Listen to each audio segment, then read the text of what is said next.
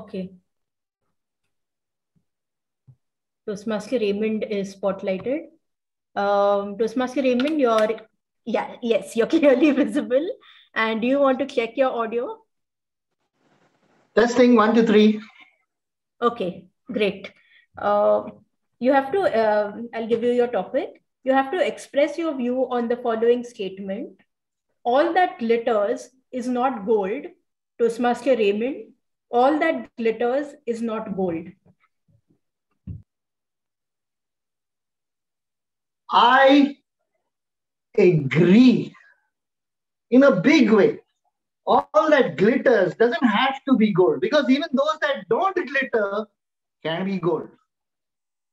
If you guys are from Goa, I'm talking about ros omelette.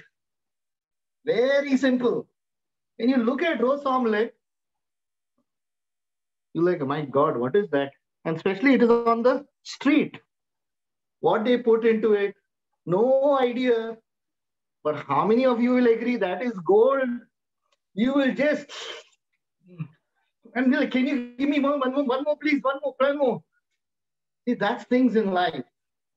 You may think that whatever we do has to be bright and shiny. And that's when you will see your achievements. But actually, not. You work hard in your own simple way. You prepare yourself in an own simple way. And even though it may not give you the first impression, but it will taste like ros omelette. Trust me, do that. Whatever you are facing in life, start working on it quietly. Start applying it in your life.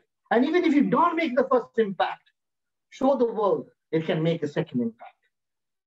Working hard in life, think about ros omelette. No need first impression. Wherever it is, you always eat. Wherever it is, you always smell. And wherever it is, you will always catch the first sight of the first ros omelette stall and you will stop and enjoy your life. Don't worry about gold. Worry about ros omelette. Over to you.